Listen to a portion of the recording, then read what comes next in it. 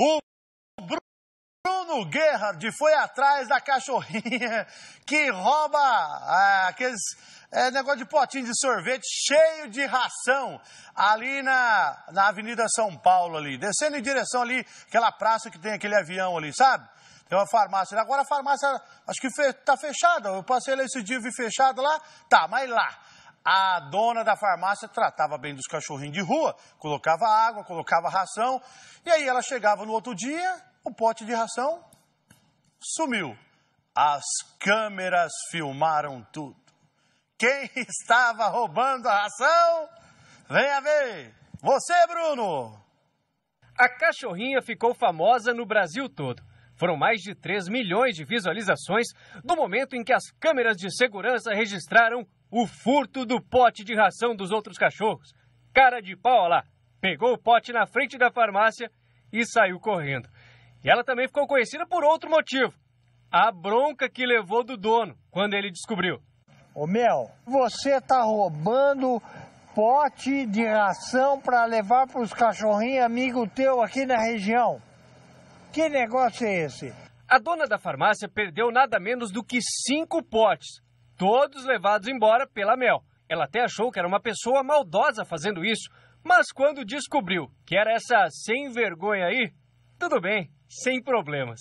Bom, e a gente voltou aqui até a farmácia para ver como é que tá a situação. Será que a Mel pegou mais potes ou não? Bom, pelo que a gente está vendo aqui, ó, tem a água e tem o pote de ração.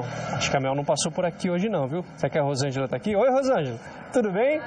Pode chegar aqui rapidinho. Licença, como é que tá? Tudo bem? Tudo bem. Legal. Voltamos aqui para saber como é que tá a história. Será que a Mel voltou? Será que ela não voltou? Você viu ela de novo? Então, ela retornou aqui na sexta-feira de manhã, era umas oito e meia. É. Só que eu estava aqui na frente, eu acho que ela ficou com medo, né? Ela é meio receosa, assim. Aí ela veio até metade do caminho. Aí eu vi que ela estava interessada no potinho. Eu falei, ah, eu vou dar para ela, né? Aí fui até metade do caminho entre eu e ela, coloquei o potinho e ela mais que rápido catou o potinho e ó, saiu correndo. Pegou mais um pote e levou embora? Levou embora. Aí até esse, depois desse dia ela não apareceu mais, tô sentindo a falta dela. Então já tem praticamente uma semana que ela não apareceu. É quase, é, na sexta-feira. Isso quer dizer, isso significa que os seus potes estão ficando aqui pelo jeito, né? Desde estão, que ela não voltou por enquanto, mais. Ela, eles continuam aí. Mas olha, eu já recebi oito potes já.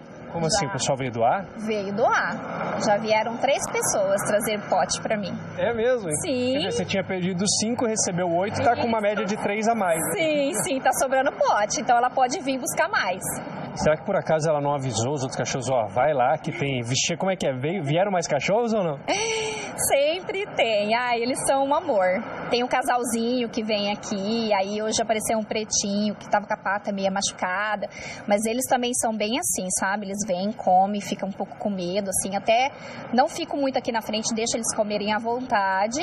E depois, a hora que acabar, eu pego e coloco mais ração. Mas pegar o pote mesmo era só ela? Só ela. Até agora só ela. Não sei se ela vai ensinar para mais algum vir aqui pegar o pote. Vamos ver se o Bruno achou a, a cachorrinha Mel, ela que furtava é, pote de ração lá. O Bruno voltou lá. Será que ela está na chácara ainda? Vamos ver. O, ah, o Bruno foi lá também na farmácia. Eu acho que a farmácia fechou. Vai, Bruno Gerhard. Bom, e nós voltamos aqui até o local para descobrir se a dona Mel continua sendo alada de potes de ração.